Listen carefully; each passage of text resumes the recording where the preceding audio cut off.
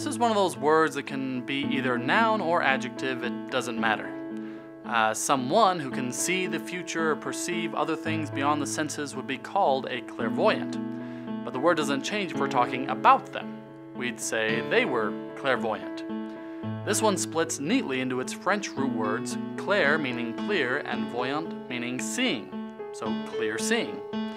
Science has never found proof of real clairvoyance, and yet history is full of interesting stories about predictions that came true. Frankly, it doesn't matter much to me, I just like the stories. There was one instance that happened about 120 years ago, and it's a very familiar story. Uh, the largest ship ever built, billed as unsinkable by its British owners and the press, strikes an iceberg one April and goes down. And due to a lack of lifeboats, more than half the passengers perish in the North Atlantic. Now, we all know the story of the Titanic, so you're likely wondering where the clairvoyant part comes in. Where things get weird is that the story I just referenced was not about the Titanic.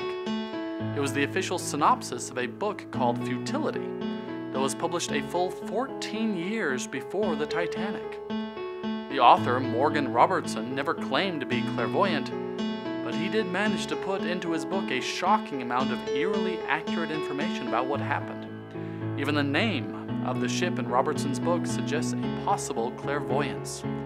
The ship in the book was named Titan. Thanks so much for watching, I really appreciate it. I would also appreciate it if you uh, liked, comment, and subscribed. Uh, feel free to comment words you would like to hear in the future or stories that you think are worthy of being brought up on this, uh, on this channel. Uh, if you would like to know more about me, my books, or anything else going on, uh, please check out lanceconradbooks.com. Thank you so much.